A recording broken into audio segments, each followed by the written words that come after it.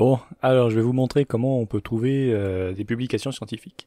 Donc il faut aller dans Google Scholar. Vous pouvez chercher Google Scholar sur Google. Et là vous avez écrit Google Scholar. Donc euh, allez, on clique Google Scholar. Et là on va rentrer des thèmes de recherche.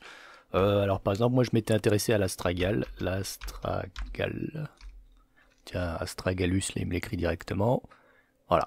Là, on a tous les, les articles de recherche euh, en rapport avec l'astragal. C'est un moteur de recherche, donc vous avez. Chaque fois, vous avez le titre, vous avez les noms des mecs qui l'ont fait, le journal où ça a été publié, bon, ça on s'en fout. Et euh, bon, d'autres trucs. Hein. Alors, euh, quand vous avez le petit PDF là, c'est que vous pouvez avoir le, texte. Sinon, bah, il va falloir un petit peu tricher. Si par exemple, là, Constituents of Atragalus membranicus, donc les constituants de l'astragal, je clique ici. Voilà, j'arrive là-dessus.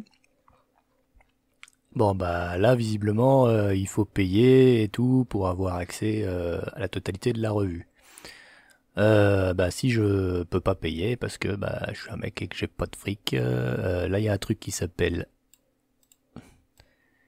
Doi Doi. Voilà. Tac. Je vais prendre dans mes favoris, j'ai un truc qui s'appelle C-Hub. Donc c'est ça le C-Hub euh, qui est utilisé. DOI, clique sur Open. Et voilà, là on a la totalité de l'article. Donc euh, on peut le, lire, voir ce que les mecs euh, ils ont dit dessus.